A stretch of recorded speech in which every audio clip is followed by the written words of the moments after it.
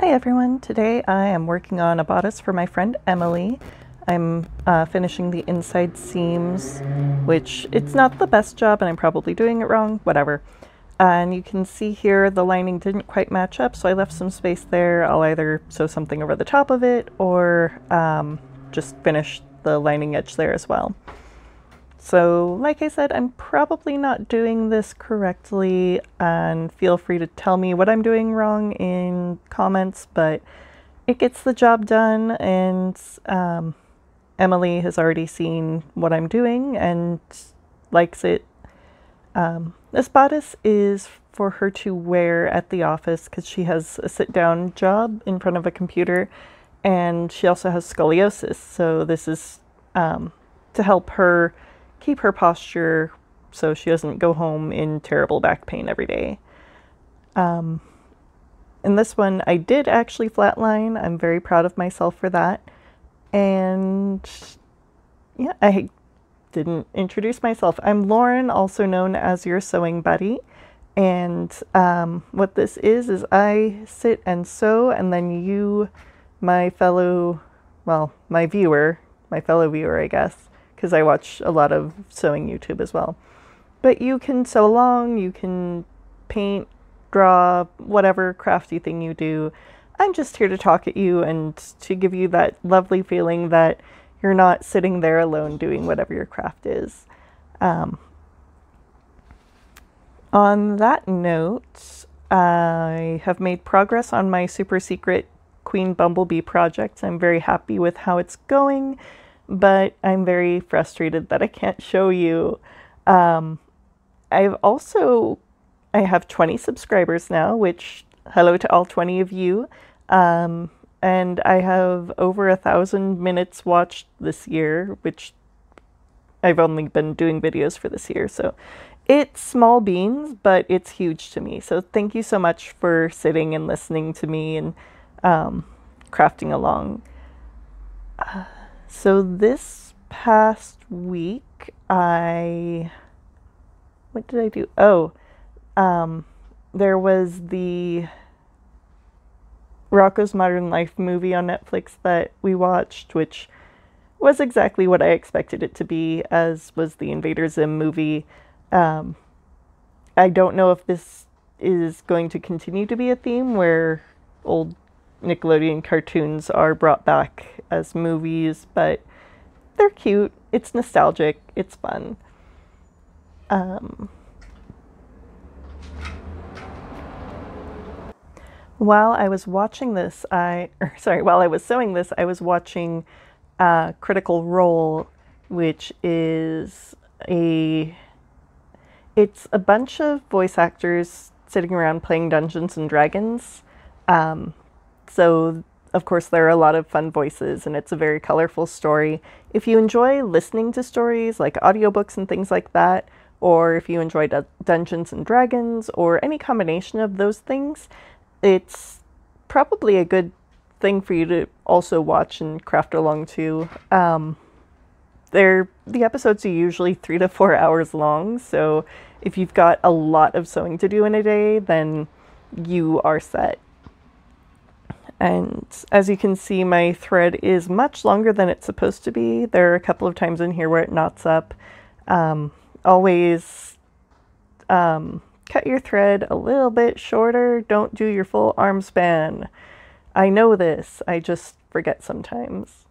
Um, but back to Critical Role, it's a lot of fun. I'm watching their first campaign right now.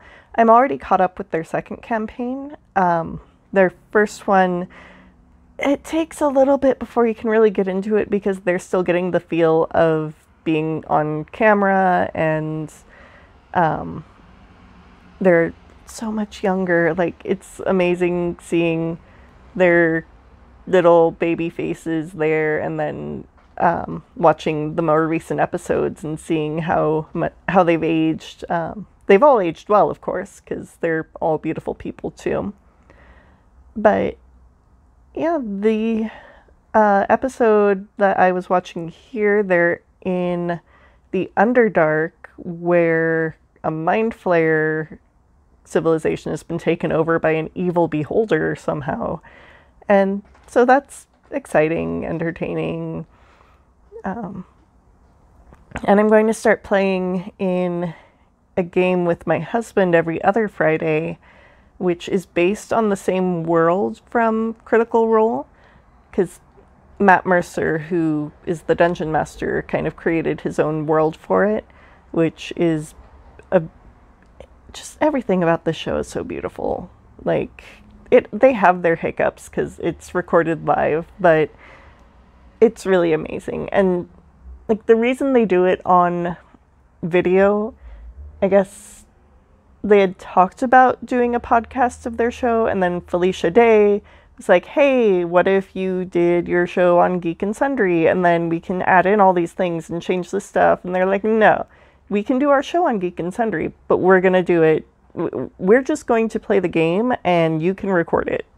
And it that's what they did, and it's everything that it needs to be. Um, to see other shows like Dimension 20 on, um, oh, what is there? It's College Humor, um, but they have a subscription service as well. Anyway, Dimension 20, it's post processed, so they add in sound effects and visual effects and things like that and they edit the show so you're not watching an entire three or four hours of them playing. But while that is entertaining, I feel that it loses something when you're there to watch Dungeons and Dragons, but then you're not seeing the whole picture. So, again, they're both wonderful shows. I love them both for different reasons. Um, and in this upcoming game, I haven't. They had a session zero, but I thought that I wasn't going to play. But my husband really wants me to play, so I'm jumping in. Um, I'm going to play a goblin bard, essentially Shirley Temple, but like she's very adorable by human standards and therefore very hideous by goblin standards. So she became a child actor and then became an adult child actor because you know goblins are tiny. And um, then i guess something happened with their acting troupe. There's another bard in the group already who was part of an acting troupe where something bad happened and they scattered. So i'm going to see if i can tie in with that. Um, yeah and then join in the party be the adorable little uh, goblin who sings and dances, and then after the show is done, oh my god, do I need a drink? Ah. Yes, I'm old enough to drink, believe me. So I think that'll be a really entertaining thing to play. And as always, if you have specific topics that you want me to talk about, I can do research, I can dig up stories from my past. Um, talk to other people about their past and see if they wouldn't mind me sharing it on here, um, then leave a comment and let me know.